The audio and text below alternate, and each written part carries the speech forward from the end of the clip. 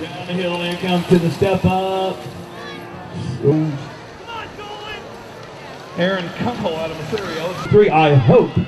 The numbers are, yep, 463. And now the Zula right there, the 11 bike trying to make moves. But it's all about so far. Kunkel and Zula side by side, battling and beating into the turn. What's going to happen? Zula take the advantage on the high side. Give it to Zula now by a bike. Kunkel on two. Into three spot right there. Kavachi wheels five right of Mark Dolan. It's going to be Zula, Kunkel, Dolan, one, two, and three. Oh no, Dolan gets past.